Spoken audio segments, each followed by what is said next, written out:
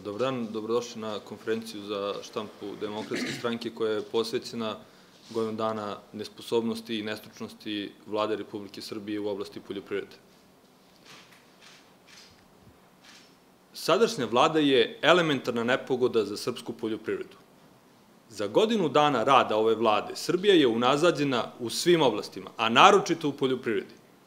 Politika Vučićeve i Dačićeve vlade za poljoprivredu je slobodno rečeno elementarna nepogoda koja se dešava. Prirodna elementarna nepogoda, grad, je zanemarljiva šteta u odnosu na štetu koju čini ministar Knežević i svojim lažnim obećanjima obmanjuje neprestano poljoprivredne proizvođače.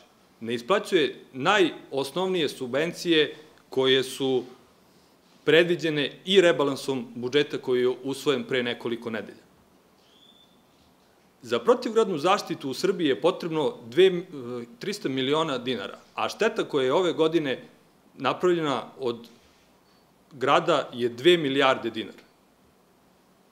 Vlada je nesposobna da obezbedi 300 miliona dinara da bi zaštitila imovinu svojih građana. Ovakvo urušavanje poljoprivrede je dovoljan razlog da ova vlada, umesto rekonstrukcije, podnese kolektivnu ostavku na čelu sa premijerom Dačićem, koji nijednom rečju ne pominje katastrofalno stanje u srpskom agraru, dok je u predizbornoj kampanji mahao njime kao najvećom razvojnom šansom Srbije. Demokratska stranka traži da vlada Republike Srbije, umesto što prodaje našu zemlju strancima, vrati novac za kreditiranje poljoprivrednih proizvođača i da im omogući da kupe naše oranice. Uzimanje ukupno 6 milijardi dinara rebalansu budžeta poljoprivrednim proizvođačima je stvaranje potpune nesigurnosti za njihov opstanak. Pored svih političkih i tehničkih pregovora koji se vode u Briselu, ova vlada mora da se bori za preživljavanje srpske poljoprivrede tako što će tražiti od Europske unije povećanje kvota za izvoz šećera i vina i ukidanje carina za voće, povrće i ribu. I još jednom da ponovim zašto je ova vlada elementarna nepogoda za srpsku poljoprivredu. Svega 1 od 100 poljoprivrednih proizvođača ili 1200 od preko 120.000 registrovanih poljoprivrednih proizvođača će moći da proda pšenicu za 20 dinara. Ostalih 99% poljoprivrednih proizvođača će prodati pšenicu po 16 dinara, a najveći absurd današnje Srbije je to što srpski seljak nema ni za pokrivanje osnovnih troškova proizvodnje, a hrana u supermarketima je poskupila za preko 13% u poslednjih 12 meseci. Uprko stvrdnji ministra Kneževića da će biti dovoljno novca da direkcija adekvatno reaguje na tržištu i otkupi ozbiljne količine pšenice, postalo je jasno da direkcija za robne rezerve nema novca za otkup pšenici i da će tek svaki stoti poljoprivrednik moći da proda pšenicu za 20 dinara. Upravo je otkup pšenice po ceni od 23 dinara prošle godine bio razlog za ovakvu rekordnu proizvodnju pšenice ove godine. Demokratska stranka poziva vladu da obezbedi novac za srpsku poljoprivredu i spreči dalje uništavanje srpskog agrara ili da izađe u javnost i kaže da ne ume i nije spremna da reši probleme u poljoprivredi i realizuje najveću izvoznu šansu Srbije. Hvala.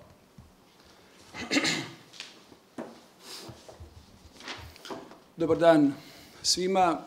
U ovom uvodnom delu imali ste prilike da čujete rezultate vlade u prvih godinu dana po pitanju poljoprivredne proizvodnje i uticaja na agrar. Ovako loši rezultati mogu da se iskažu i u svim drugim oblastima – i u ekonomiji, i u financijama, u privredi, u infrastrukturi, u zdravstvu. Demokratska stranka serijom ovih konferencija za štampu hoće u stvari da upozna građane Srbije sa pogubnim delovanjem vlade u svim oblastima za koje su zaduženi u prethodnih godinu dana. Ova vlada je za samo godinu dana uspela da zaduži građane Srbije za preko 4 milijarde evra. To znači da smo na mesečnom zaduženju, na mesečnom nivou imali zaduženja od preko 300 miliona evra.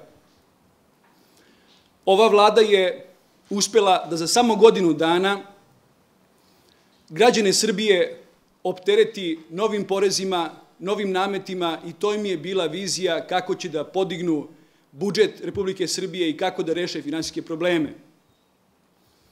Stopa nezaposlenosti je skoro 30 Ne postoji ni jedna investicija u Srbiji, prekinut je kontinuitet prethodne vlade oko stranih investicija, a domaćih investicija nema. Ova vlada je, kao redko koja do sada, uspela da građane Srbije časti sa nizom afera koje su obeležile njihov rad. Od čuvene afere skrivena kamera premijera, Miša Banana, aflatoksin, mala matura, prisluškivanja, praćenja i tako dalje. Afere koje su stvari sve vreme zataškavale realno loš rad vlade, ministara i institucija ove države.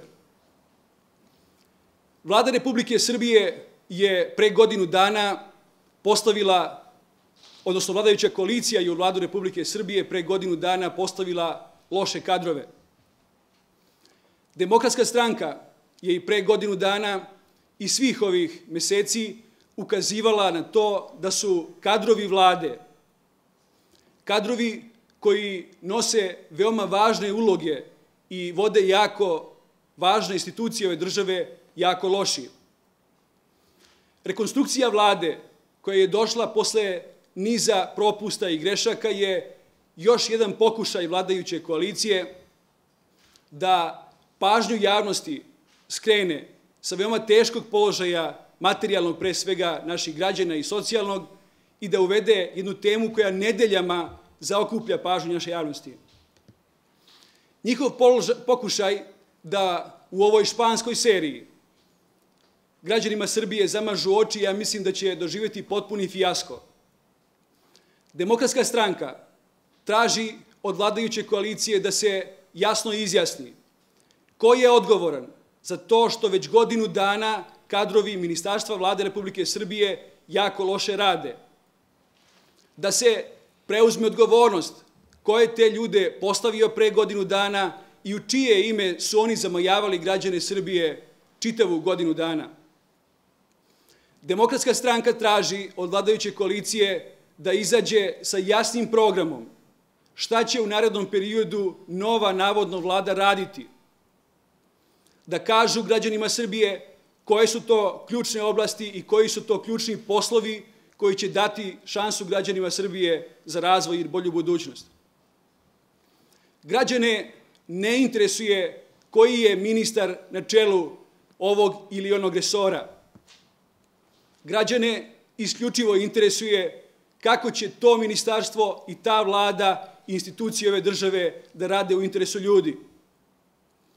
U ovoj podeli koja se osjeća u vladajućoj koaliciji ne samo da nema personalnih rešenja, izostaje ono što je najvažnije, a to je koncept i izostaje odgovornost i za ono što je rađeno u prethodnom periodu i odgovornost za ono što nas čeka. Iskreno se nadam da će ova praksa zamajavanja građana Srbije, optuživanje političkih protivnika za sve ono što je loše u prethodnom periodu na kraju proći, da će građani Srbije shvatiti od čega se živi i da će građani Srbije prepoznati da u narednom periodu odgovornost i političkih stranaka, i pojedinaca, i institucija mora da bude usmjerena ka njima i ka njihovom boljem životu.